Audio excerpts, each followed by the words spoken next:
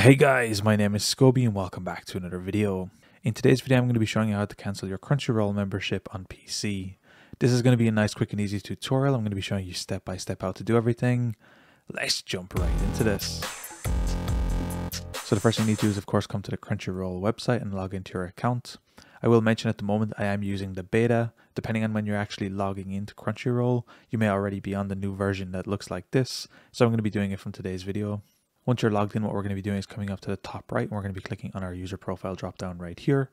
From this point, what we're going to be doing is coming to the My Account section where we can manage your profile and settings. Simply left click this. From this point, we will be brought to our account. We're going to be looking for the left section right here and we're going to be looking for membership plan. We're simply going to be left clicking this open.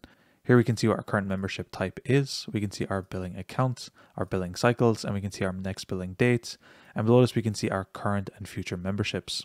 If you'd like to cancel your membership here, all we need to do is come to the Action tab, and here we'll be able to cancel any of our ongoing memberships. Simply left click this. We will then be brought to our cancellation page where it will mention all of the things that we will lose.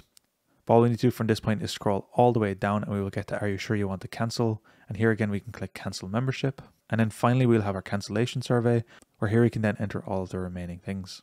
Once you're happy with all of your details, you simply need to click submit here on the bottom.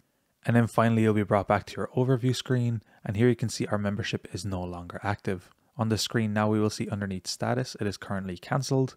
And now the action has been changed to automatically renew your membership. So if you would like to renew your membership at any point, you can always come back here and feel free to do it at this point. So you can feel free to do that here. Anyway guys, it's as easy as that to cancel your Crunchyroll membership on your PC. If you guys enjoyed this video, be sure to drop a like. Subscribe if you're new, check out the other videos on the channel. I want to take this moment to give a huge shout out to the channel members, Sean Daly, Joshua Davis, and Devontae Hunt. Thank you so much for supporting the channel. If you'd like to have your name shout out in future videos or some other perks, be sure to click the join button on any video on the channel. It would really help me out. Anyway, guys, thank you so much for watching. Until next time, as always, keep it saucy.